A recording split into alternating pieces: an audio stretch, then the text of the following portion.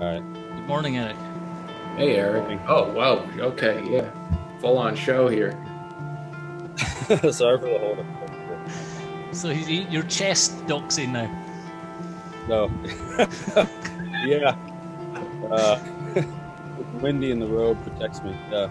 And you know, you get a little hot underneath. So So, did Uh, you the find option- Is that you just Oh. bought that robe?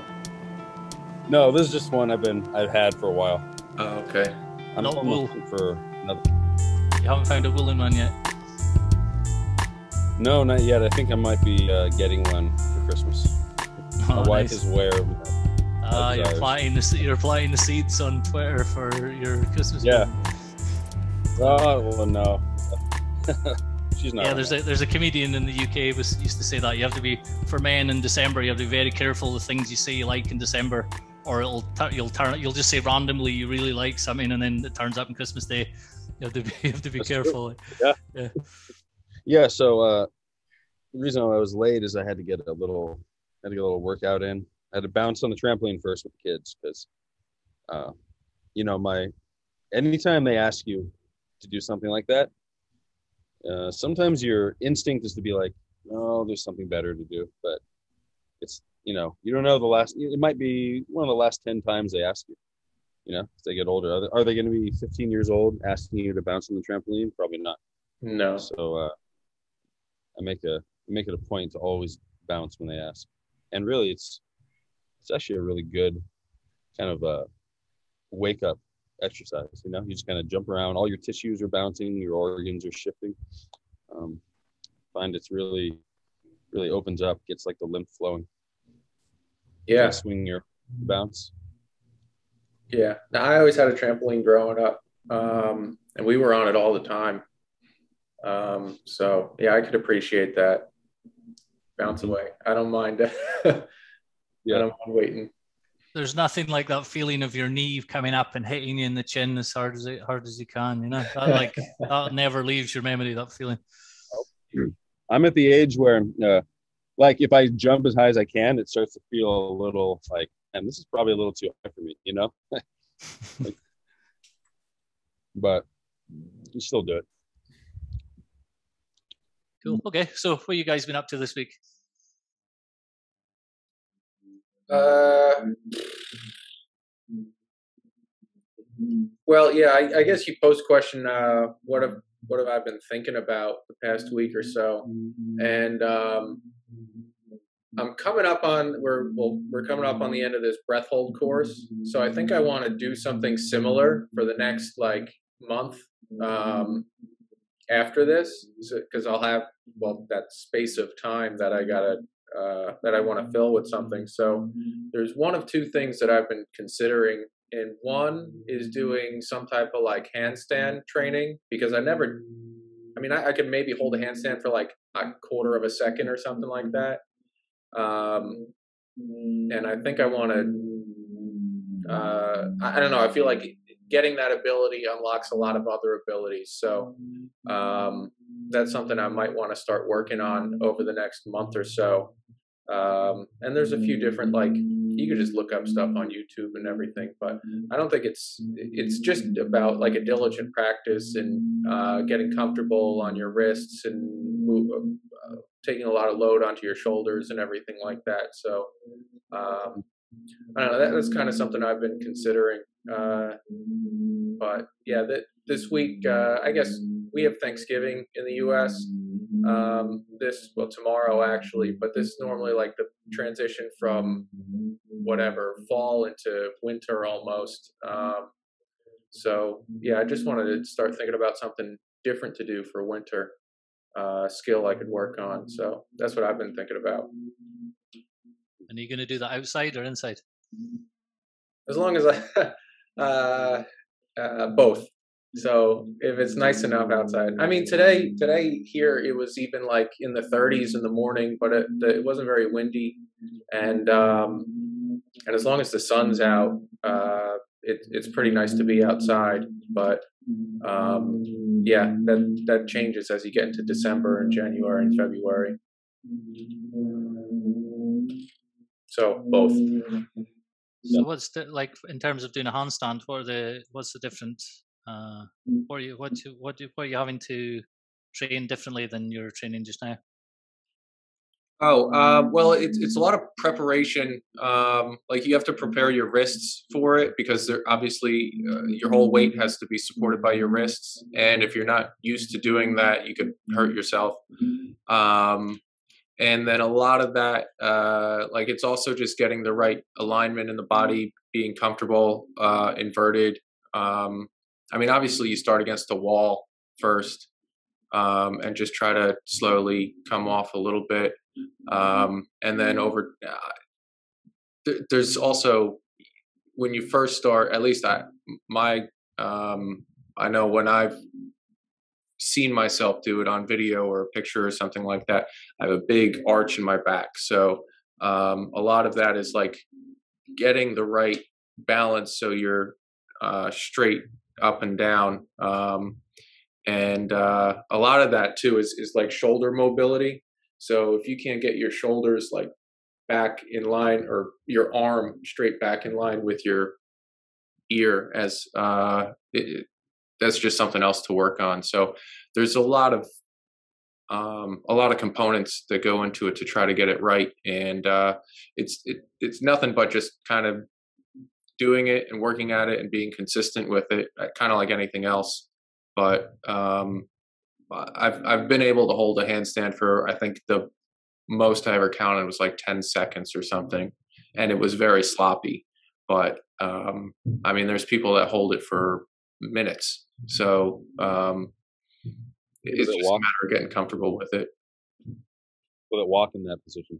You know, or if I could walk, yeah, yeah, and push-ups.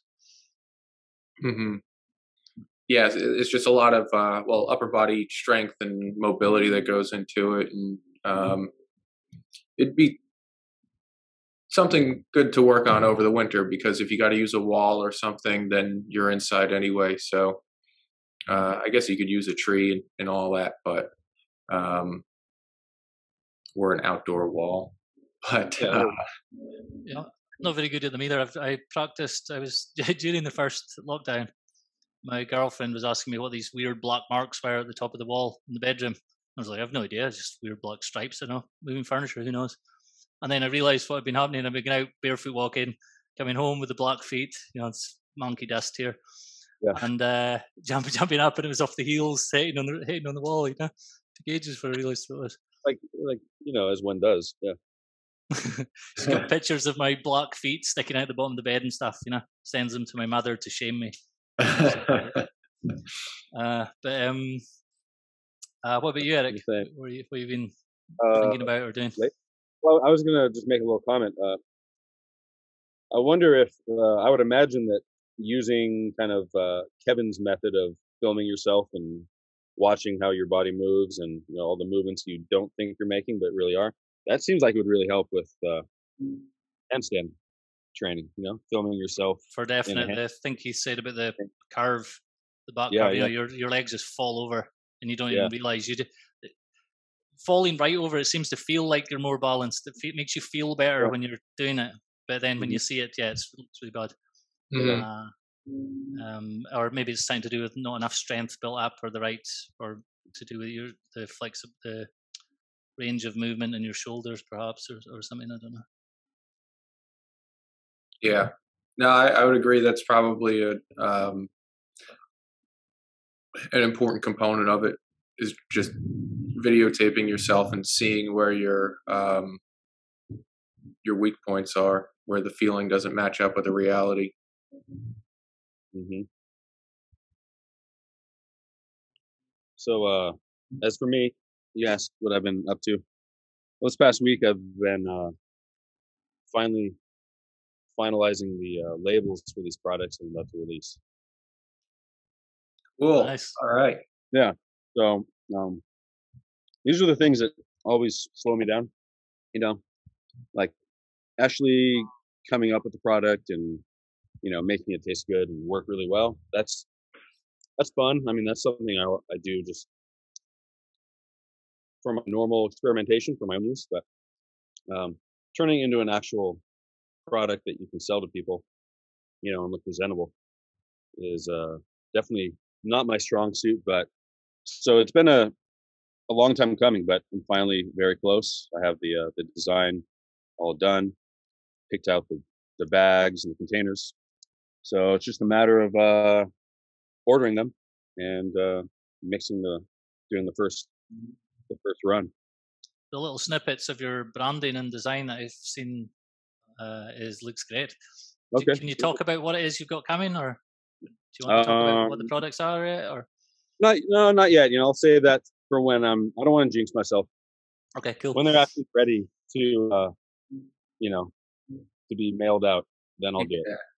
It's Yeah, ju- yeah. this is an old school marketing tactic. He's just building suspense right now. A lot of suspense. Yeah, a long time. Yeah. But I mean, Keith has tried most of them. I sent him samples. yeah, And, they're uh, great. like, Mhm. Yeah. Yeah, you're gonna have it. Uh, well, it's gonna be killer. People are really gonna like it. So, um, so what have you been doing, Kevin? Uh, the main, the I've been thinking about something, and I've been experiment doing an experiment. But I'll start with the experiment. Uh, I've been. This is something I tried years ago. I'd started doing, and then I lost the habit. I lost it for some reason, and I've decided it was time to do it again. Is teaching Juggling. myself. Sorry. Juggling. no, no, Oh. no. Uh, kind of. No, kind of in a weird way. Uh, starting to use my computer mouse with my left hand instead of my right hand. Uh, This just sounds totally basic.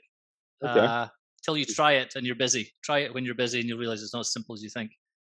The so there's many reasons for why I'm doing this. It, this time I did it ages ago because I got interested in left brain, right brain. You know, like different side of your brain controls the opposite hand for most people, and uh, so I was interested like that. But it was kind of sort of yeah, a random idea then, and then it didn't. I did it a little bit and it didn't really stick. Oh no, actually, what happened was building websites at that time for people, mm. and you know you're click using the mouse that much, moving the images and stuff mm. around it. It was just driving me mm. mental trying to do it with my left hand, taking too long, so I just stopped it, and then kind of lost it. So went back to doing it this week, but it's purely for practical reason. My desk just makes more sense to have the mouse on the left and my notepad on the right, and just the way it's set up now. I just rearranged that uh, last week. I need the mouse on the left side, or it's a total pain. So I just thought it was the- right time to do it again. And it's interesting things I've noticed this time. Is because you can see it's really good because you can see your hands, so you don't need a video. Not really. It'd be better with one, but I haven't used one. Don't tell any of my pupils that, but I haven't used one for this yet. But the so like you're using the left hand, and I've changed. You know, I've changed the buttons, so the the other button is the main button. Uh, but whenever I use it, whenever I'm clicking, I'm finding my right hand's moving. Starts to move on its own. You know, I've got like a ghost right hand. But it's not doing but this is the weird thing, it's not doing the clicks. It's not like I'm clicking with the right hand. It's not that. It's it's just triggering something the right hand thinks it needs to be doing something. And I think this is a brain thing. I think because because you're you're well for most people or most people are right-handed and for most people it's your left brain it's controlling your right hand and your left brain is you know like tool tool use side of the brain. So there's something about the like the using you're obviously using the mouse as a tool you're doing things to get something you have a goal it's really like step by step goal oriented. And when when i start using the left it's like it's confusing my brain it's only way i can put it. So it's not just it's not just the habit you because you have to build up the new habit of using your other hand. So there's obviously that. It's just like you're just not used to moving your hand like that. But there's some mental component to it. And i also know it's bro- breaking up my mental uh, my distraction habits. So there's thing you know the websites that i get pulled to and stuff like that when i'm working or something. It's not the same now. Because i've been using the left hand it's it's strange. It's like Uh. the it's just broken some pattern up. I mean i can't explain this other than say brain uh brain hand. Uh but it's really interesting. I really like uh i really it's really reminded me of a lot of stuff that's beginner stuff. So i'm used to doing this in other ways obviously and i've been doing work like this for years. But i hadn't done this with my hand in ages. It's an obvious one. It's kind of stupid. I should have done it before. So there's obviously benefits to being ambidextrous and uh for people who are and you know more integrated as a person and, and your movements and stuff by doing this you're less likely to have more uh, tension and weird habits on one side you know because like you can pretty much tell if someone is on the phone a lot you know like or you know you look at someone they're really lopsided on one side often. Uh, so it kind of will undo that kind of thing for people. But also this it's, it's good for your brain. I'm convinced it's healthy for your brain. Yeah. But uh, i still haven't mastered it yet and i've still got the the the right right click, which is left click there, um, Uh, yeah. is harder. You know, the middle finger. So I mean, the index finger seems to be going fine. Uh, so the next step, once I've done this, I'll probably move on to writing. I'll try and write with my left hand, which is something I wanted to do years ago. Well, you have to um, you have to form. I don't know. Can can you? Well, you have to form like new circuitry. That that's uh, when you were telling me your right hand is still moving or whatever.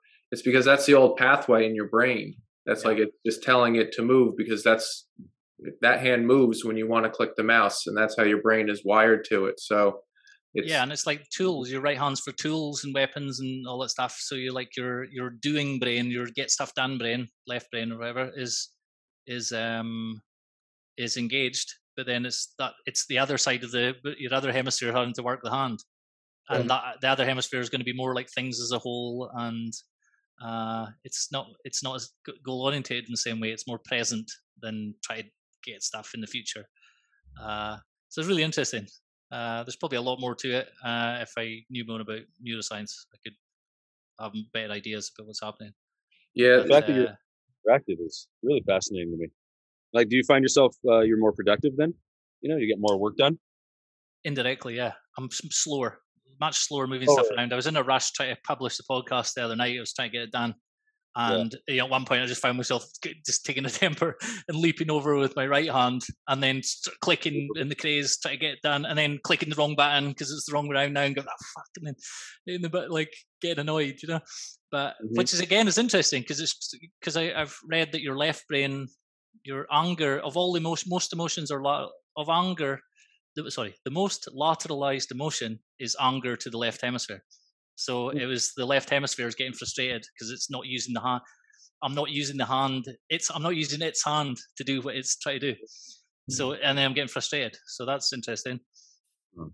Um, Almost like that, like Keith uh, referred to, like the the pathway that usually runs to your right hand is so well worn that, and and the message is coming from the same place that a little bit leaks through to the right hand, and that's why you get the little passive, you know. Right, yeah, must be, yeah. Uh, so yeah, so more don't know if that's productive, but, yeah. slower, but more productive because I seem to be like uh, I don't know. I seem to be more like it's indirect where I I'm more just not interested in doing other things, and I just do the thing that's Uh-huh. important. It's kind of more kind of you know you're not like use an analogy. It's not like the to-do list with loads of things and you do all these unnecessary things on the to-do list rather than the one important thing. It's more I'll just do nothing, or I'm just like messing, like really doing not very much, and then I suddenly do the right thing and then do nothing, rather than like like what would be a more left brain, right hand oriented, really productive, and I'm doing all this stuff. Step, boom, boom, boom, boom. It's not like that's not me at all. Uh, you know, that's Mm, just right. not me personality wise or current behavior, and uh, it seems to work. So It's really interesting uh, if you do the the left-handed writing, the handwriting, to see if your prose is different. You know, writing with your left hand. I think it, I think it must I mean, be. it'd be Oh, hard to that's control for that. It'd be hard to like you know actually isolate the variables, but just kind I of think you uh, probably could test this. You know, if you had if you had a way of categorizing different, like say you were writing, maybe you used more kinds of different types of words more with one hand than the other. That you you would have to like analyze and have figured Mhm. out in advance which word meant what or whatever. But yeah, I think you, I think you probably could. Uh, my I remember my neighbor. I was fascinated with this when I was young because my next door neighbor, the like my friend's mother, uh, was is ambidextrous, and uh, I just found this absolutely fascinating because it's just so obvious she should be using this hand, this one hand. I couldn't understand how it was possible. My cousin was left is left-handed, and uh, he was better at art. You know, so I've heard this a lot. Left-handed people are, are often better at art. Mm. Uh, I don't know how scientific that is, but I've heard that. Uh, I'm not particularly I'll good at it. art. Yeah. Yeah. Um. So, but uh, Are you I- the? I uh, I'm a I'm a lefty. Erik, you're left left-handed. Right, right-handed. Oh, never mind. oh, you're lefty. Oh, cool. I'm left-handed. Yeah. Oh, okay. Um, so like the with the Yeah, left brain right brain thing, some some left-handed people it's just flipped. It's like it's just mirrored, you know, the hands and the brain. But I think some people it isn't mirrored. It, it turns out like their their uh, language center, which is usually in your left side, is for them is actually on the right side. It's complicated for like a small minority of people. So I don't know what you are, obviously, Wow. uh, Keith, but obviously the majority of people are right-handed. Obviously, Keith, you said So- you were good at art. I don't know if I heard you right. Yeah, I mean, I'm not I'm not an artist, but I I am decent at like drawing and uh uh that type of thing. So I used to draw a lot when I was a kid. So Okay.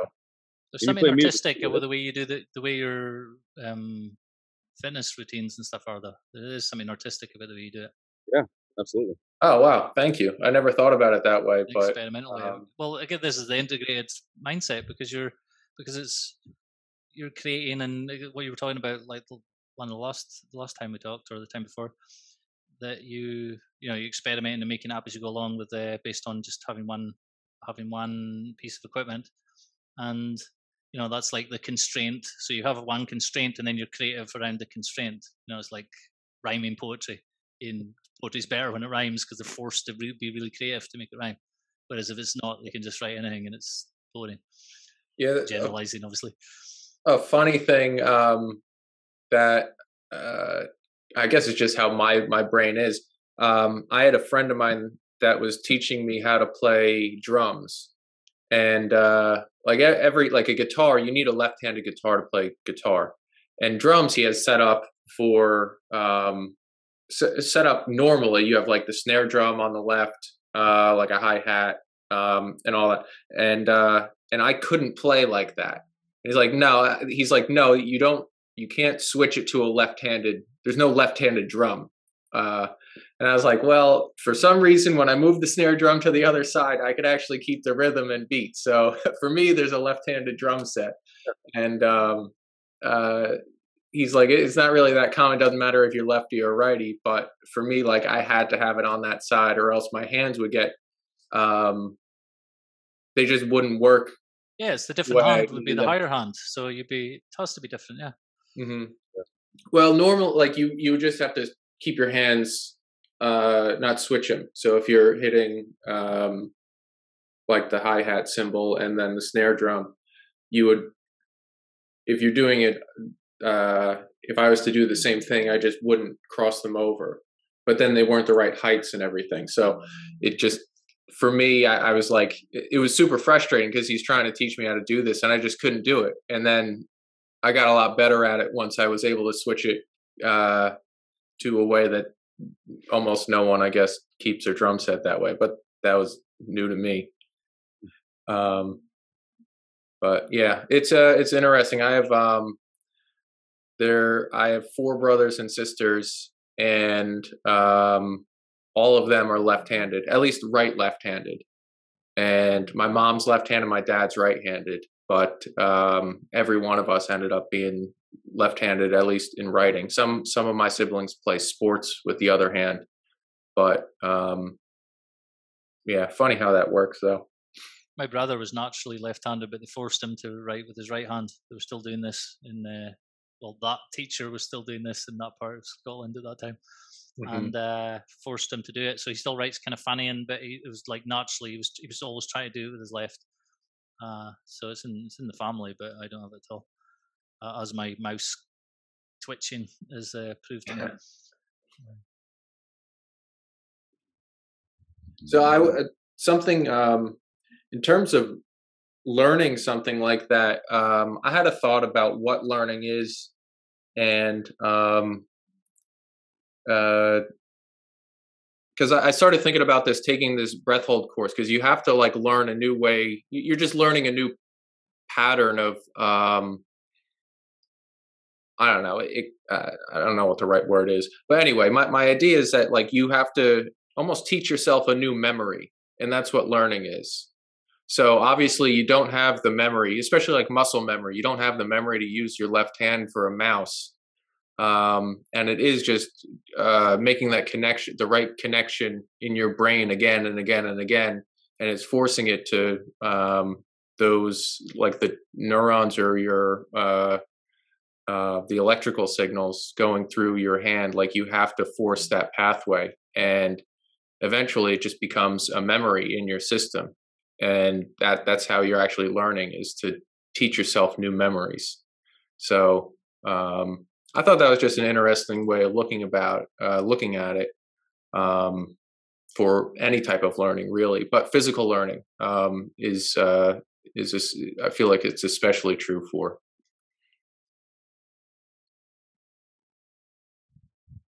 yeah related to the memories is the well I've noticed with the mouse is it's giving yourself rules, movement rules.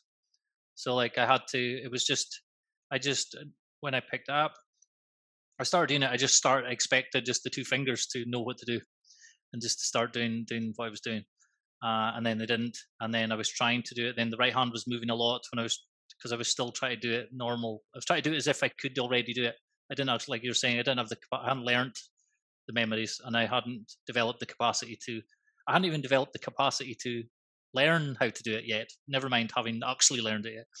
And uh, but by giving myself rules, you know, I just said, okay, you know, looked at my left index finger. That is for clicking the, you know, this mm-hmm. is for clicking the the right button. Uh, uh, when you know whatever I was, I was clicking on, this is the one that does this, and this is the other one for opening up, getting the information of a folder or whatever.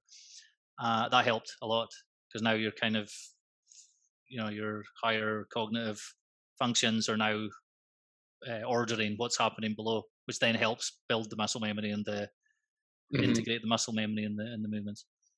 Uh, so that helped a lot. So uh, that's actually something that's useful for people is uh, uh, rules of movement like that. I, I've been cursed for for ages with this thing people have, even not, not even, but lots of people have, where you just can't put a USB cord in the right way up. You ever get this? Oh yeah, I think that that's everybody. So, but there's yeah. a, a really quick solution. You just it's a rule. You give yourself a rule. So I was doing this for years. I was just so annoyed at it I just couldn't take it anymore. So I just sat down with it and I looked at it. And I went, why did I keep putting in? Even by the by chance, I was putting in more of the wrong way up than the right way up. So I actually, I must have had some kind of subconscious wrong rule in my mind because it was like beyond chance. Why is it always the wrong way? Yeah. So I was looking at okay, there's two squares on, on each side. Uh, not video, so I can't show obviously, but there's two squares on each side, and two of the squares, the little squares, have a gap. They're like three dimensional. Two of them are flat. You know, like two of them have holes in them basically, and two of them are flat. And the holes go to the top. That's it. That's all the rule. You just need to remember. So holes holes go to top, and then every time I did it now, some point between grabbing it and going to put it in, my brain has clicked whether it's the holes are showing or not, and then it'll mm. just I'm saying going to the top in a in a side of a laptop. The laptop I have, I know you, you guys with new laptops don't have these anymore. Uh, and then sometimes it might be upright if you're doing it in the back of a PC or whatever. But it's the same, you know, for whatever way round you stick it in, you're still going to be the holes to the front or whichever way around mm. it is for you. There's a rule, uh, and then as soon as I said the rule, it just it's just happening by itself now. It's all right. So Not the whole time, it was there the whole time. The solution was there the whole time. It's just you didn't decide to have a rule uh, that mm-hmm. you're obviously using words, but it's just like a, yeah. it's reasoning overruling in yeah. like habit.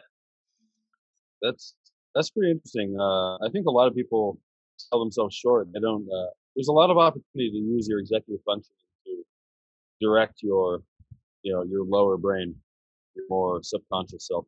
Uh, one example that I found I just tried this one time because I was having really bad seasonal allergies, and uh, I knew I'd read about it. I'd read the science, and I knew that it wasn't it wasn't like a rational reaction by my immune system. It wasn't that hey, you know, the pollen was dangerous. It wasn't to hurt me, and so I actually just sat there talking to myself, talking to my immune system. I was like, you know, uh, this pollen, I know it seems dangerous, but it really isn't. It's not going to do anything to you.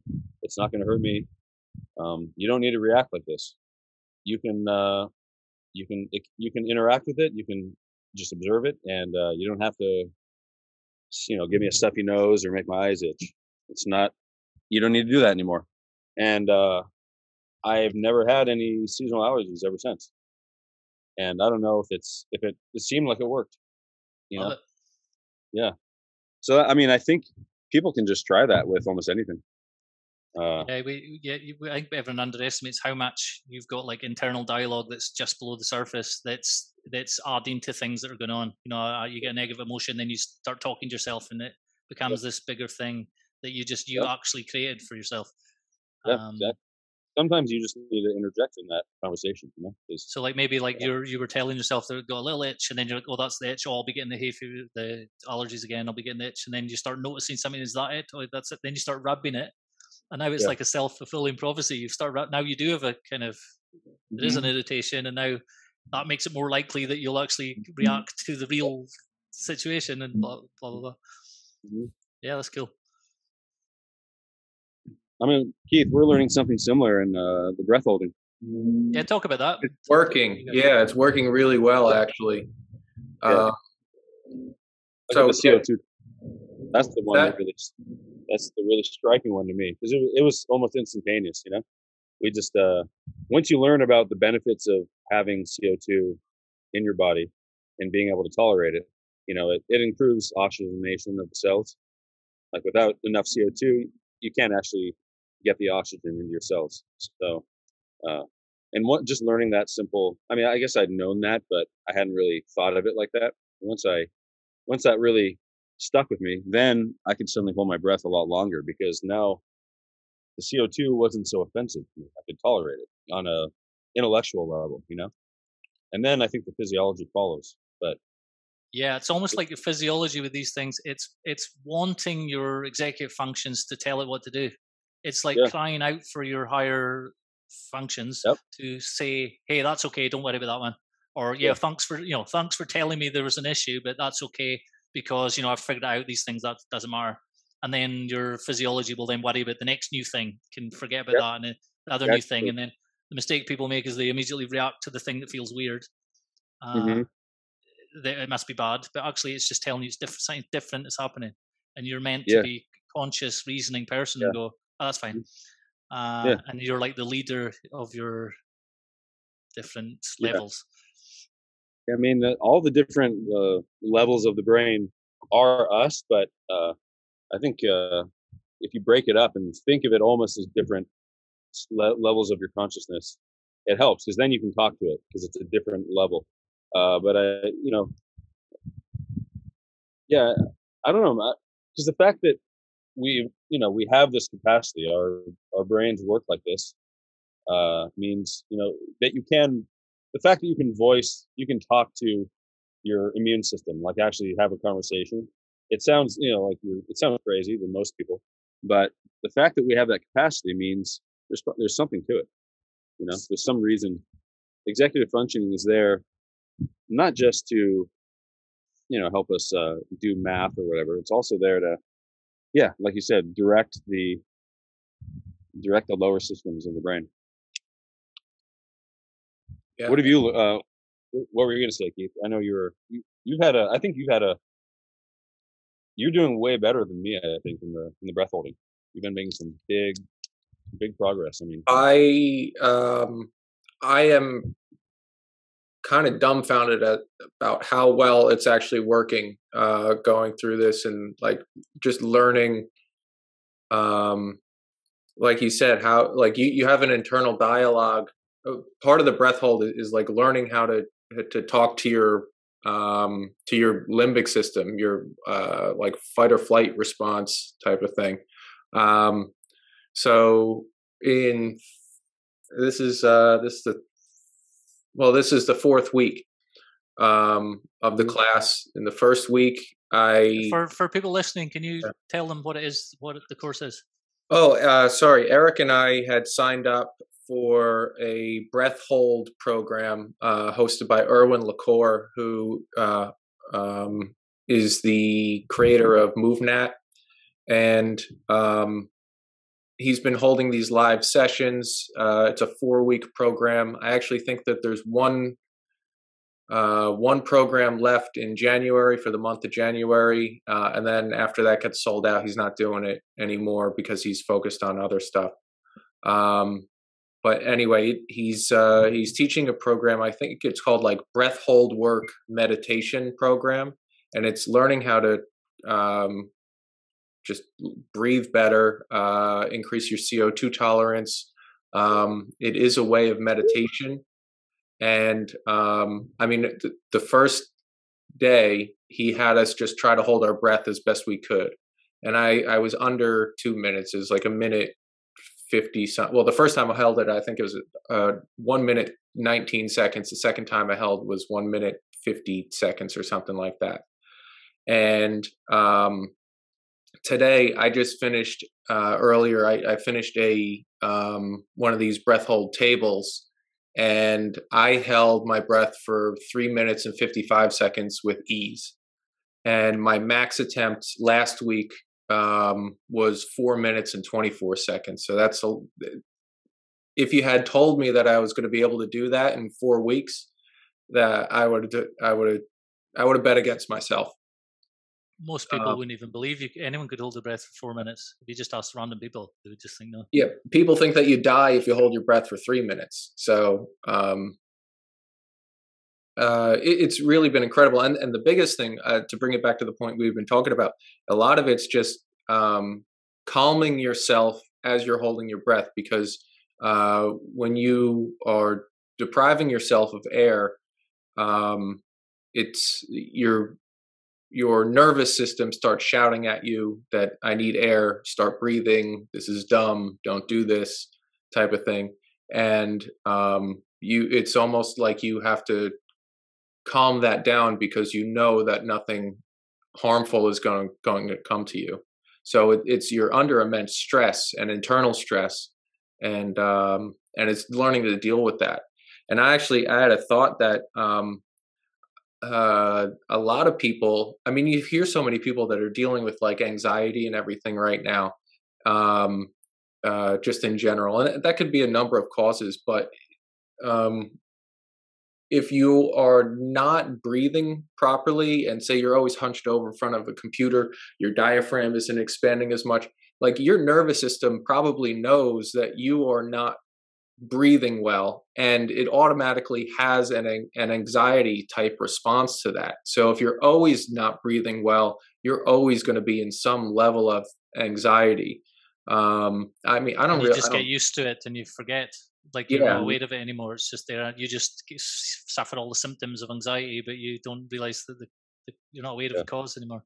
Yeah, yeah. So, um, I mean, I don't suffer from anxiety, but I could see have someone. Uh, it could be a simple change that someone does is learning how to um, uh, breathe in a different way. Because uh, even the, these last few weeks, I mean, just uh, I've I've just felt so much calmer um, and I think part of it is just you're you're training your nervous system to be more or learning how to talk with your nervous system, however you want to uh, frame it.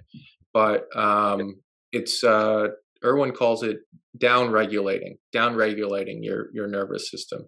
Erwan, I'm sorry, I keep on saying it uh, the wrong way. Um, but uh, yeah, it's a, it's a great course um, or a great program, and I think there's only limited spots left, and if anybody wants to do it, I would sign up. Um, uh, but yeah, it, it's I, I'm I've been astounded with the progress I've been able to make in such a short amount of time, and um, and yeah, it's all a matter of just talking to yourself and and making your nervous system comfortable with the stress that it's going through. And it doesn't necessarily just have to be stress from holding your breath. I mean, you could apply this to stressful situations any other time but like you get that uh stressed out or like you feel like you're in a bad situation you you could stop yourself and say oh no i'm gonna i'm gonna be in control here and i know nothing i mean if something bad is gonna happen it's a good that's a good response to have but if you know nothing's bad is going to happen and and you could control that stress response um, i just imagine it being uh, super beneficial in many areas of your life um, just because you're not you don't you, you become more dependable to yourself pretty much that you're not going to freak out or anything like that. So, um, I, I can't say enough good things about it, and uh, and just the the it's not just it's not just thinking differently like you actually see the physical change like there's no way i could have done this three or four weeks ago so i mean that that's actually like that's physical proof that something is changing or you're doing something different because um you could try to have the idea oh my mind my mindset has shifted and all that but like if you can't apply that to your physical reality then one who is everybody else going to believe you? Two um are you going to believe yourself or or whatever? So um do you have anything else to add erik but uh about what you've gotten out of it? Not really. I mean i've had a lot of the same the same responses. Uh yeah see i haven't i've actually this past month has become a really busy month time wise so i haven't been able to practice it as much as i'd like outside of the classes but i've still made huge gains definitely felt a lot calmer just throughout the week um exercise tolerance is a lot better. You know. Oh yeah. Yep. So I, I don't really do a lot of uh, like for my training, uh, I typically just kind of do random stuff here and there, little quick bursts of workouts. Um, I haven't done sort of a CrossFit cell workout in years, so I was training with some friends and they were doing it, so I did it too, and I was able to maintain like nasal breathing the entire time, which normally I would be gasping for breath through my mouth, you know. Mm-hmm. So that little things like that really uh, leap out at me. And uh, when you mentioned that you the increased stress tolerance, uh, that's absolutely true because stress is kind of uh, stress is the same. Stress is stress, you know. Like the body responds to different stressors along the same pathways, whether it's workout stress or you know uh, breath holding stress or you know a terrible commute. It's all kind of the stress is uh, manifest along the same body pathways. And so if you can, if you learn to deal with stress uh, from breath holding, that will help you in just normal life stress. Mm-hmm. Just like you know, you start lifting weights, and all of a sudden you're a little more confident. You're a little more resilient in the face of, you know, things bounce off your back. Uh, this is just another way to build up your stress resilience. And it's a really potent way because it's so fundamental to life you know? Breath that's the most fundamental desire. It's not even a desire it's a need. So it's not something you can fake. Uh you know food can skip you can skip meals for a month if you want. You can go without without water for a few days but air i mean when you know you hold your breath for two minutes and your body starts freaking out because it thinks it's really going to die so that's if you can nice, you can master nice that or at least uh, you know overcome it, then your ability to deal with other things is going to be unparalleled. So yeah, I really recommend it. Uh, Erwan's a great teacher. He's uh, you know, the classes are supposed to run two hours, and he often goes three hours just because you can tell he's so passionate about the material and he just wants to mm. cover it and leave no loose ends. So yeah, if you can get in there, I would really recommend it. The other thing Definitely I like about that the breath holding thing is it's a nice clean way to measure. If you go under the water, you mm-hmm. there's no you can't hide it. It's just factual. You either like you're saying earlier, you've either done it or you haven't, and you really are you, at some level. You know you will die if you don't breathe. It's real. Mm-hmm. So mm-hmm. you know it's like similar. Let me, to, let me just add: this is not underwater. Okay, no, but in, I'm assuming it will eventually be used uh, for you know, I know everyone uses it for diving. Water is in a way easier. I think the longest breath holds are done underwater. Yeah. yeah. I think er, Erwan uh, brought that up. I think is because you actually have um, like uh, nerves on your face that can sense uh, when they're touching water, and it, it's another. Well, it, it's part of your nervous system, so it knows not to inhale under those mm-hmm. conditions. Yeah, probably is probably the reason why like um, I think a baby, like a newborn baby, knows not to inhale. Um, they don't know that uh, intellectually, but just based on their ner- how their nervous system is set up, they won't inhale underwater. yeah, yep. You just toss them in, and yeah, they float. They turn over on their backs. Mm-hmm. you, you've tried with your. Kids. I do, yeah, yeah. One minute he's sneaking uh, egg yolks into his children's food. The next minute he's tossing babies into the water. Yeah. yeah I mean, uh, yeah, don't try that. But it, yeah, be very careful if you do. Yeah. But the um the other benefit that I, have seen. Oh, go ahead. Sorry. Uh, uh, just for myself, um, I I typically have pretty tight shoulders and everything, and just the um the conscious act of trying to fill my lungs up as much as possible. I feel like that's helped stretch out my my rib cage and my shoulders and um up through like under the collarbone and, and everything like that. So um, I know at the start of the course when I started to take a very deep breath, I would uh, I would feel like a, a strain on my right side in, in like my yeah. trap muscle, and that has since gone down by like eighty percent or so, uh, maybe even more. So because you're using your diaphragm more now. Um, it's I think it's that, but I think it's also that muscle is getting uh, stretched out, and there's there's just not as much. Uh, maybe I had adhesions there or something in the muscle that were preventing it from moving, but just over time, as I continuously do these things on, uh, on a weekly basis, that um, it's just allowing those muscle fibers to move better than they were previously. So I, I do feel like my my chest and my shoulders are a lot more flexible. Um, I still have kind of like a, a, forward head posture, but that's that's uh, I, am working on that too. But uh, yeah, I've, that that's like a that's like a second tier benefit that I also noticed from this. Yeah, I'm really interested the way he, he calls it uh, down regulating.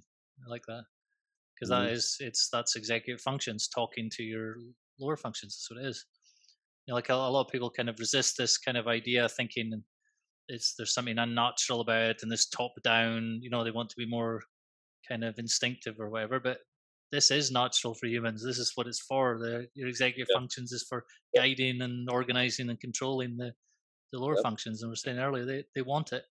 They want they want a leader. Uh, mm-hmm. That's totally natural for humans.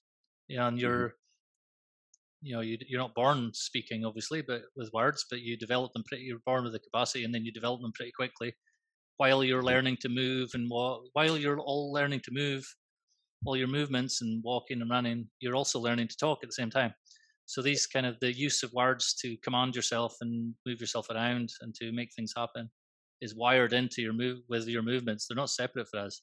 It's not like we were these animals who because uh, like people have this idea without thinking about it, I think people assume they think of evolution. Okay, there's all these animals and they're running around and they're wild and they're happy and they're you know they're natural, and uh, then humans have this language thing that's tacked onto that uh, on top. But for us, if you think of each person, it's developed as you grew. Your whole life is language wrapped in with your your movements and your actions, and uh, it's bound to be more easy to control things than than you think because just no one. Te- it's only like weird people like us and Erwin, and you know, like it's getting more popular now, but it's only like kind of it's not obviously very mainstream that people experiment with this stuff and um, just assume it's true because it is true. But um, you sound a bit crazy talking about this stuff if you if a person has no experience. It just sounds insane. T- talking to yourself that you can breathe underwater four times as long, you know, just yeah. seems weird. Makes me wonder, uh, you know, like five thousand years ago, if these this ability of your executive brain to delineate, you know, to uh, delegate stuff to your uh, lower brains.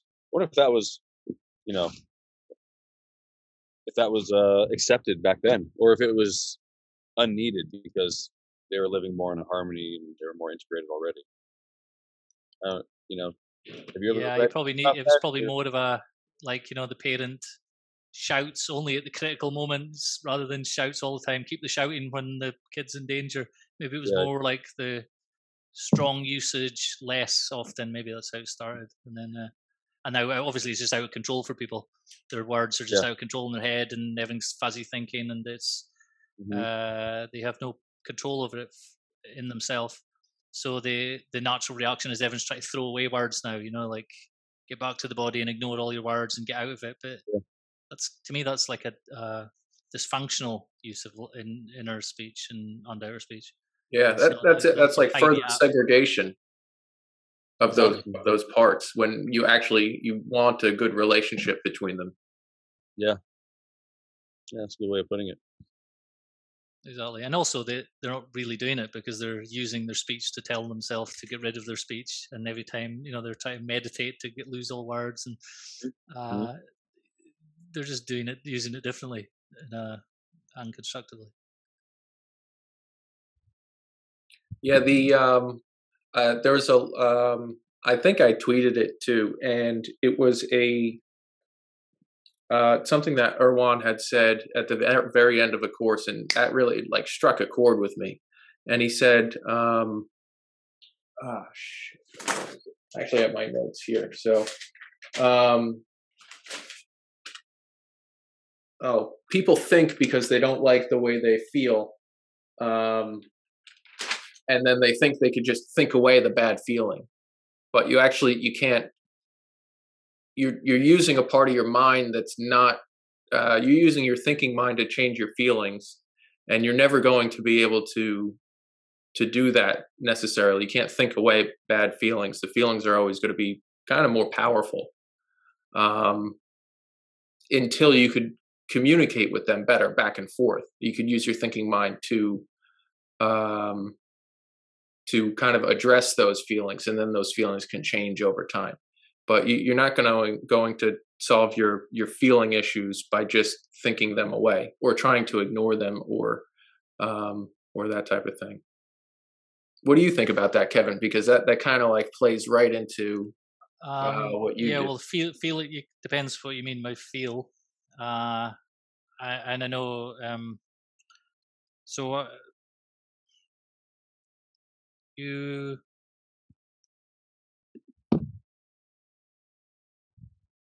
You want me to get you the exact quote? i have to think about that quote, but the for me, you it's a case of dealing with it indirectly. So, for example, if if a feeling that you don't want, rather than like he's saying, you try to think about it and t- and argue with the feeling and get rid of it at the level that's the wrong level to do it. It would be more to reason out what you need to do, act on your reasoning, and then the feelings will change, will come along with that and change anyway. Uh, so you do it indirectly rather than trying to argue with the feeling. So you're accepting it because it's just there, but then you're uh, doing whatever it is you need to do. Uh, right. Obviously, you want. I, I just realized feelings. that I kind of botched the quote, um, but I can I can read it back, and it'll probably make a little bit more sense than what I said. Um, the quote was, "Why do you think people overthink?" Uh, so that they don't have to feel. And why is it that they don't want to feel? because to them it does not feel uh, to feel does not Jeez, i can't even say it because to them feeling does not feel good yeah i would say that the overthinking and that is referring to this out of control inner speech that we're talking yeah. about like it's that's that's to me that's dysfunctional thinking it's not really thinking actually it's more thoughting it's just thoughts in words word word word word with people. Yeah, that, that's uh, a whereas good, uh thinking uh, is order. You know, you have ordered concepts, and then you're there's a system of relations, and things refer to things. Uh, and it's hard. Actual thinking is tiring. It's hard. Uh, otherwise, it's just words appearing. And I think people constantly conflate thinking with uh, words in their head, so they're not necessarily the same thing. Because some mm-hmm. words are just placeholders for feelings, often for people. So if you're just going to use more words that are placeholders for other feelings to try and stamp out the feeling you don't want, you're you're already to me that's the wrong level of dealing with it. And yeah, people feel bad in general, so they want to avoid the feelings they feel bad, so they're they try to talk themselves out and stuff. So like I've never been a fan of um replacing negative self-talk with positive self-talk. You know, like you just you have these negative thoughts that people get. I've never really had this, but they have the negative stuff going in the head. Uh, so then they have positive affirmations to kind of stamp down on the negative stuff with, you know, I am, you know, I'm in their brain, I'm a bad person, bad person. I'm a good person, good person, good person. They try and hammer it down. You know, that's no one uses that affirmation, but you know, you know what I mean. Uh, whereas really, what you want to do is or, is uh, take control of your speech, inner speech in general, and and organize it rather than just change the emotions. It's like to me, that's again, that's too low a level. You, it needs to be ordered from a higher level. Uh, it's just reasoning but it's real reasoning. It's not like stupid rationality where you think you can just think of all these things and ignore the feelings because that's the other. Yeah, that's well, the other side of it that people do, and that's more like common. Uh, well, maybe not more common, but that's in the culture. Uh, so people are reacting against that. I just see this constant pendulum swing all the time. People go too far one way and too far the other way, uh, which to me is a sign of uh, being automated, mechanical uh, just it just swings back and forward. People aren't thinking. Mm-hmm. Uh, I say this as a as a non like you know I'm not a hyper intellectual rational type of person at all. It's, if anything, the opposite. So I've kind of had to integrate that more into where I am now. But for other people, it's the other way. You know, they're far too in their head and intellectual, and they need to get more of the feeling and the body stuff in. So they need to do this kind of stuff first and feel things and accept things more. Because the feelings were there, they're just not aware of them. Uh, it just depends on the depends on the person. So, but yeah, I think we're talking that quote's talking about the same thing we're talking about. It's it's out of somebody's out of control in inner speech or self talk. Yeah, yeah, yeah. yeah. Uh, which is combined, which is to me is it's inseparable from feelings feelings and not just like emotions, but also your just general pleasure, pleasurable, unpleasurable uh, sensations. That's people. I know this from the posture stuff. People don't seem can't really tell the difference between uh, without training a, a, feeling of displeasure or pleasure. They can't tell the difference in that being it's a it's a good or bad they, they it's automatically things. I think this is probably just a human thing. Things are automatically labeled good or bad, and if you just avoid, so you're going to avoid the unpleasurable thing because it's bad uh, or dangerous or whatever. And uh, again, these this can all be tidied up with your language. It just requires a little bit of effort, and you just start labeling things better and experiment. You have to do something with it. You can't just do it in your head. You have to be doing something with the words. That's why I love the posture coordination stuff because it's straight into movements you can see in the video whether you did it or whether you're deluding yourself. Uh, same idea with the breath holding thing. You can see it's not like oh I, you know, I had a lucid dream and I held my breath for six minutes. you know, it's like real. So yeah, so I think that's I like that quote. Uh, if that's what it means. Keith, do you ever uh, lucid dream? Just um, try a um breath hold in there. See how long you can go. At least yeah. the problem with lucid dreams is it's hard to do anything other than things that begin with F. flying. I mean flying. Oh yeah. uh, no, I haven't ever lu- uh, done lucid dreaming. Yeah, me neither. Yeah. Not as like a practice. Uh, Techniques but. to do it, yeah. Uh, yeah, I've had, a few, I've, I've had, you have experience with it? I've quite like a few, not regularly. Yeah. Um, okay. I've gone through phases of having them regularly, uh, and I've had like I don't know what you would call them. They're like somewhere between a. It's not quite a lucid dream, but it's more like a. It's more like a. I don't know. You just call it a vision. I don't know. It's it's there's the dream, normal dream life, life dream world, mm-hmm. and then there's like the lucid dream world, and then there's the this other thing. It's more like I don't know. Uh, it I was sleeping. Sorry. I mean, some in between space, or uh, what do you mean? I don't know. It was just like sometimes like apocalyptic landscapes. Uh,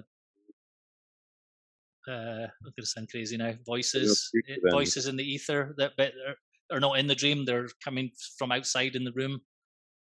They're they're coming oh, from outside like of the dream. Waking. Oh, so you're sort of awake, huh? No, no, this is sleeping. So okay. there was like sleep, dream, lucid dream, and then this visionary area, and uh, and then it was all like weird shit happened to me after that. So it was like it spills over into normal life. You know, you'd have like yeah. energy rush and stuff like that. Mm-hmm. And then mm-hmm. weird. It was always talk to you in, in mythical themes, always.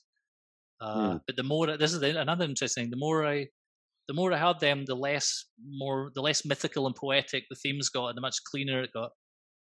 Instead of this all this big dramas and stuff, it's like you have to go through this drama phase like a kid and doing all the stories. You know, like you're uh, the ch- chasing the dragon stuff. Yeah. Chasing the dragon, I think that's to do with drugs. Anyway, um, but you you then later it's just more just it was just uh, understanding yourself in a new way. It's more mystical than mythical. Uh, Mhm. But uh, I never got into making them happen because This happened the way it is. spontaneously, or uh, you were intentional in in this? it was indirectly. I was doing other like I was doing kind of uh, various practices, uh, weird. Let's just call it uh, meditation and other weird stuff. Yeah, there's a bit of an Um, eye roll there for just the people listening. I'm already, I'm already way past crazy in this in this uh, episode. Uh, but yeah, I was doing stuff, and then this was kind of side effect, I think. Uh, but you, the the again psychophysical, your environment was my environment was changing. What happened? So I was in the Highlands, Scotland. It all unfolded in a certain way. I was in uh, southwest England, came in a different way, and it matched. The, it's hard to explain the it just matched the landscapes and the folklore of those places. The the language in the dream, the sort of poetry language, matched the different places. And I've had one Wow. since I've been to Cyprus. It was kind of more Greeky. So Wow. that a part of that's just your own imagination. Obviously, you're translating it, but some of it was like it didn't seem like it was my idea. I don't didn't think of that before. You know. I think the Uh, land is made with certain energies and motifs. You know, I think I totally believe that. Yeah. Um, and then like uh, then I would become interested, intensely interested in certain things after that, and then often it would be a phase, and then it would be on to something else.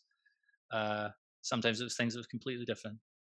Uh, you know, one time, one time I heard, I still don't know what it was, but uh, there was like a language being spoken that was um, either Old English or Old Norse. I don't know which one. It was definitely one of those. Uh, Yeah. I didn't know at the time though. It's I was calling it in- my. I was explaining it to someone. And it was like they were speaking. This woman was speaking nearly English, and uh, I just thought it was like goo goo gaga baby talk. And then Mhm. I heard uh, someone doing a uh, doing a reading of um, Beowulf in Old English. And I was like, that's, that's it. That's the dream language. And uh. I want no interest of any of that stuff. Then none. I became, I've been interested in it ever since. So that was in never- South England, and that was in a place that's like that. You know, it's a kind of uh, uh, town. Uh, so And Sorry? you had no prior experience with uh, Old English. no, no, none, none, none. Mm. Um, and I've been, I've heard of that. Like I was having like um, Kundalini type experiences then, and rushes up the spine and all that stuff in those that that period in time. Uh, and I've read a guy. There's like a Indian guy who's written books about Kundalini, and he he mentioned uh, writing poetry in a language he didn't understand, a language he didn't know, which obviously everyone just thinks is crazy talk. Uh, but it's coming from somewhere. So I mean, obviously, I must have heard. Old English somewhere before, but I don't know it. You know, um, it was al- the weird thing was it was almost the only, mm, um, you know, like mystical, magical, mystical, myth- mythical tradition in the world that I hadn't been interested in was my own one. So I'd gone through phases of being interested in everything all around the world, everything in every part of the world, and I had no interest in the like the Mm. uh, what do you call it, like indigenous British, Yeah. uh, either Celtic or um, Oh. uh, Northern Calling home. Germanic. Yeah, And then boom, that was the one that turned up. imposed it Weird. on you. Mhm. so yeah, so that Uh, was combined with the lucid dreams and stuff. But I, I never, I had a couple of books about the practices, but never really did them. I was just too lazy to do them. Yeah. Uh, just can be bothered. Yeah. It always seemed to me that too much lucid dreaming could be, I don't know, maybe a little dangerous, you know? Because my, my stance is that dreams are supposed to be sort of subconscious and uh, not actively controlled by you. You know, we- I don't think, uh, I don't think scientists really know what dreams are, what they're made of, why they happen. And uh, it just seems like playing with fire to be like, oh, no, I'm, I'm just going to control this thing that happens to everybody, you know, subconsciously, and I'm going to redirect it in my own way. It's kind of like uh, if you're to take control of your, you know, your heart. You're like, no, I'm, I'm just going to consciously pump my heart, you know, or control all these autonomic processes in the body. I, I feel like dream dreaming is one of those processes, and to, I don't know. I mean, but I'm sure it's pretty fun and cool. Kevin, uh, so I didn't mean to cut you off, Erik. Oh, I wasn't even saying. Oh, okay. Uh, Kevin, you brought up um, one other time when we talked about um, uh, an interesting perspective on how to interpret dreams. Is that something that you want to, um, or you feel you comfortable enough explaining? Uh, I don't think just now. I think I need to experiment with that again because it's been a while since I, I did it. But basically, the sort of big picture view is the way to. That's more just sort of normal, meaningful dreams, dreams that seem to mean something and you don't know what it meant. Is to instead of trying to instead of picking the most emotionally biggest impact in the dream and then trying to interpret that as oh this means this or this means this and and going and then following that down you know in some kind of interpreting it mode is to uh, think of it in terms of structure and to try and map out the entire structure of the dream. Don't get lost in the most seemingly most important one. Try and account for everything as a structure and there seems to be only one thing that makes sense where everything makes sense and as a structure as a whole and it will be telling you that you have a wrong view of yourself but by but in the dream you're doing something that is really abstract obviously but in the dream you're trying to solve a problem and you're doing the exact opposite of what you think you think you're solving the problem you're you know you're trying to run away from someone and you're running and running and running uh, and then but actually you're creating them to chase you by the doing the running or something so you're creating the opposite of what you think you're solving uh, you're creating the problem or whatever. And the dream will tell you this if you see it as a whole. I got this from a, a Platonic philosopher, like a guy who lives now. He's like in his nineties, called Pierre Grimes, and he. I'm butchering it, in my explanation, but basically he uh, has a system for doing this. It's vaguely based on on something Socrates says, and you. The interesting thing is you you are deluding your your you're the opposite of yeah it's your it's like it's like he calls it the dream master. It's like it's telling you something about yourself. Your vision your idea of yourself is wrong. It's showing you why that you're doing you're doing the same thing over and over again but it's taking you further away from what it is you actually want which is a which is a more whole sense of yourself. And then he sort of guides people through the process by mapping out with it with little images and little characters of, of the main dream scenes and whatever it is when you get the aha at the end and it's like a physical psychophysical aha moment it's like holy shit that's i thought it was this and now it was this you know it's like the end of the movie you know like the end of a movie where it just flips the reality flips or whatever uh it's really hard to do yourself because the reason you're having this problem that the dream is showing you is because you can't get outside it. You're stuck inside the loop, and you need to get outside the loop. Uh, so I've experimented with this, and it seemed to work for something I did, and it just the issue just disappeared for me uh, instantly. Not because I did anything about it, not because I interpreted it, just because it I saw it more clearly. It's about seeing it more clearly. It's really weird. I'll need to read more into it and uh, uh, play with it again, and then I could maybe give a, an actual example because it's hard to understand what I'm talking about. But like basically, I'm just saying uh, I'm going against the problem of I'm going against the habit of people having picking one specific thing and try to do deal with a specific thing. It's exactly what I do with the posture stuff. This is what got me interested in it because I saw the analogy with posture, where like you can't just fix one part and another part and another part. You have to somehow change all the structure as a whole. And that's what he was saying about the hmm. dreams. You can't just pick one part of the dream and interpret it. You have to get the whole structure, everything in it, and then eventually you'll you'll see a new way that it can be. Uh, but your feelings will really want to prevent you from seeing it in a different way because your feelings are tied into this, your our impostures, your habits and feelings. Uh, so you know this goes, but the guy I was talking about it goes back to ancient Greece, and you know they had dream temples, and people would part of your medicine was sleeping overnight in a dream temple, and whatever you dreamt, you told them, and then they based your your your treatment on things that the gods or whoever told you in your dream. And this was all just one thing, you know. And then you were told to, you maybe get told to go running in the sun. Uh, you know, it was all like it was all interconnected. What we would now call religion, medicine, athletics. You know, uh, it was all one thing. So, does that answer your question, Keith? Yeah, that was that was great. More than I expected.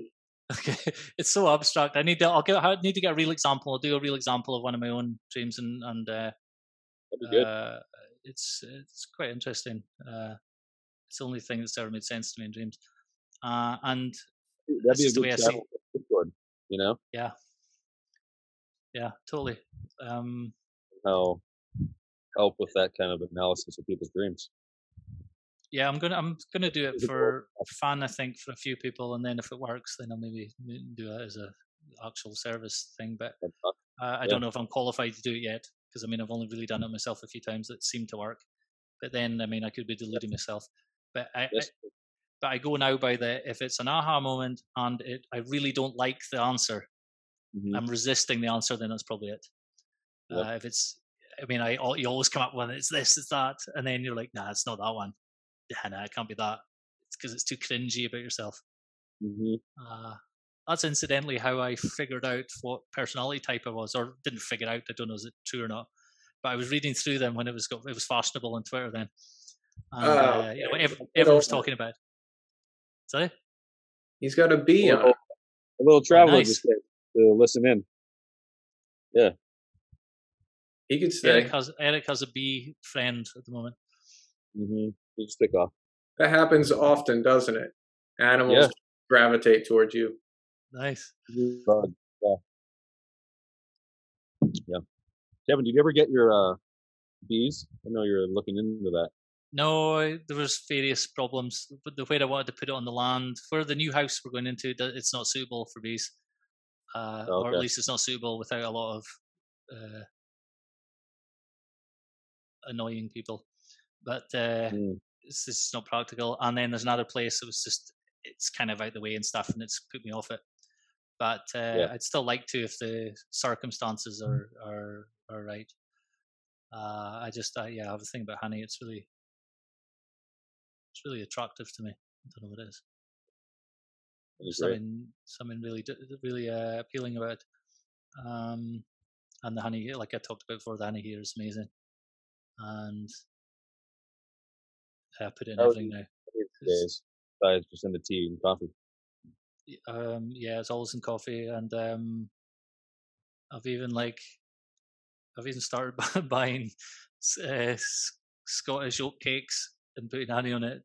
I don't know why. I don't. I never used to eat oat cakes in Scotland. What's an oat cake? They're like these sort of flat. Uh, well, they're made from oats, and they're like these flat, hard. I don't know what you call them, biscuit type things. Um, okay and uh, you know, like you, they're they're better for putting things like you can put cheese in them or uh, uh, meat or whatever. But uh, crackers, yeah, they're kind of cracker type thing. Yeah, but they're they're quite filling, and oats is kind of a Scottish thing. Uh, mm-hmm. So returning, you're returning. Yeah, yeah I think that's we have the old fish in the in the dreams. Yeah, part of me was like, okay, all this all this uh, exotic Cypriot honey is one thing, but you know you need to you need to get some of the old get some of the old old country back into as well. Yeah, yeah. So you're just drizzling it on there. Uh, yeah, oh, yeah, I'm throwing it on that, and uh, uh, but the coffee one is like uh, it's game changer. Honey in the yeah. coffee is just amazing. Nobody uh, does that. It's weird. It's always sugar. It's so it's so like I hate. I've never put sugar in coffee and stuff. I never ever put sugar in it, and it doesn't it doesn't taste nice to me at all. Mm-hmm. Uh, mm-hmm. The honey's like uh, it, it doesn't feel like it's like this treat. Oh no, you shouldn't eat that too much. It just feels That's, totally healthy. It is. Yeah. And I don't I don't uh, gorge on it. It just you know eat, eat it. Uh, and uh, it's cool that honey cool. so uh, I don't know, so local. You know, like it's literally the product of all the flowers that grow in the in the place where the bees live. Exactly. So everything different. And You so, know, like the marketing here on the honey's um, like very like orthodox Christian kind of marketing and lots of stuff, you know. So it's really like there's some beautiful uh, labels and stuff and the names, you know. Post some Um, pictures. To yeah, well, I'll start. I'll start um, honey honey trapping. Uh, Yeah. On Twitter. Uh, so yeah, maybe one day I'll, I'll make my own. But also, that was one of the things that triggered the idea. Was your you had a long post on Twitter, Erik. That was really interesting about uh, best foods to uh, store long term for Mhm. survival. And I was thinking, you know, honey's obviously Yeah. effectively It'll last forever. that kind of thing. As long as you avoid water, it'll just last forever. You know. You also got a great thread on honey. I happen to retweet it today. Oh, I haven't Yeah. seen that. Okay, cool. I'll check that one out. Yeah, no, that, that one's really good. Very sincere too. Mm-hmm. Yeah, I can be sincere. I always am. Yeah. uh, man, all that from that damn beat really wanted us to talk about honey. Yeah. Mhm. No wonder Yep. it showed up. I was. Re- I mean, it's weird. I saw it like I looked up and I saw it coming from all the way across the valley. You know, you can kind of see it shining, and it just landed right on my finger. It's kind of cool. Yeah, don't act like you don't have some superpower or something like that. That's you're like Aquaman for bees. Maybe. Usually it's spiders. It's usually those little jumping spiders that land on me. Hmm Yeah, Time traveling spiders. Yeah, somehow the conversation about spider honey wouldn't have been as good though. Mm-mm. I'd eat it if they made it. Spider honey. If Yeah, it it was, would- if it existed, sure. I think it would be a redeeming feature. Yeah. Yeah. So, what else have we been up to? Or Just getting we ready call for it a day? Thanksgiving. Yeah, it's getting ready for Thanksgiving. Yeah. So, where are you now, uh, Keith? You said you're in a different time zone. No, uh, I'm still in the same time zone I always am, but my mind was somewhere else because uh, I don't know why. Okay, psychophysical. Yeah. so uh, yeah, I, I wish I could say uh, there was some reason why I, my I don't know I had a mental lapse, but uh, no, I was just I'm just eager. You're ready to go. yeah. Yeah. You know, I was I, I was thinking because we have to coordinate three different time zones over a large span of time, and I'm uh, Yeah, and I think my mind went to um, Erik's time zone, but not really because it was he's three hours ahead of or behind me, and I only went two hours. So I don't know what happened. Since But- we The web- started doing this together, I've noticed how many of Erik's uh, tweets I miss on Twitter. Oh. Because of the time zones, because I'm like 10 hours ahead of you. And uh, I was like, and I had the, you know, I set up the, the podcasts uh, account on Twitter. And because there's, I'm only following us, it's showing, it's showing things that we've liked and replies and stuff. The three of us, you know, it's like populating with all these things I've missed. And I was like, tons of your stuff I've missed for ages now. So, I mean, it might be quite good from the podcast point of view because we're one of us is talking about it all the time. But uh, from my point of view, it's a bit annoying. So, so uh, it's an annoying time zone I'm in. Uh, most of my lessons with people are late at night, not late at night, but later in the day, which is good because I don't need to get up early. But it's also it's you know it takes it uses up it restricts your day. Uh, Yeah. because most pe- most most people in America. But anyway, What, what time is it for you, Brendan? Then right now What's that? what time is it for you, Kevin? Right now. uh, it's uh, almost quarter past ten night. okay. Yeah, It's so like, um, so my brain's usually more tired and stuff at this time, but this is obviously the only time we can we can do this. Yeah, it is tough, but I mean, what I Winter's mean, once a approaching, week. though. It's, it's inevitable. I'm going to be drinking at some point soon. Uh, right, this, can't wait. especially Welcome. on Friday. Yeah, yeah. Then I'll tell the real crazy stories. I mean, I would, if if you drink, I'll drink too. Uh, okay. even though it'll be you know, ten in the morning, but it's okay. Will That'd be will your bee will your bee minions still come to you though if you change your scent? Uh, I think so. Or maybe you have yeah. to drink mead. If you drink mead, you'll be fine. Yeah, there you go. I'll drink it. Uh, this one's been fun. This is really fun. Yeah. Just uh, random. It's good. It'll keep getting better too. I feel a lot more comfortable than I did Yep. uh, uh, a couple weeks ago or whenever. Yeah, me too. It's the it's the two realities. The reality of just talking, and then there's the there's people are listening to this that don't exist yet in the future, and you're kind of second guessing yourself sometimes. Yeah, it's always in the back of your mind. At least Yeah. mine. Yeah, because the, the whole time then I'm like, should I tell the story? Should I say that? Should I? What part should I edit? And then I forgot to edit the bit I meant to edit. So fuck it, it's in the. Um, the real- Oh, the- people know that about me now, I guess.